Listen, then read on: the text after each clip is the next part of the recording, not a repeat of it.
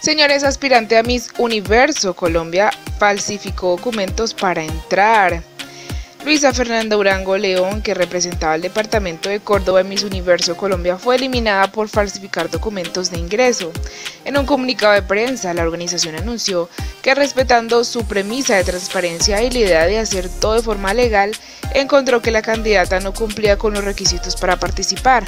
Miss Universo aseguró que la joven entregó documentación alterada en la que supuestamente sustentaba que estaba dentro del rango de edad para participar en el concurso, es decir, que supera los 28 años. Aunque el concurso ya había anunciado en primer listado de las candidatas escogidas de siete departamentos por lo sucedido con Luisa Fernando Durango, León tuvieron que hacer cambios y ya anunciaron su reemplazo, quien toma su puesto es Carolina Guerra. Aquí en esta imagen ya se puede ver el rostro de la nueva aspirante que representará al departamento de Córdoba, señores.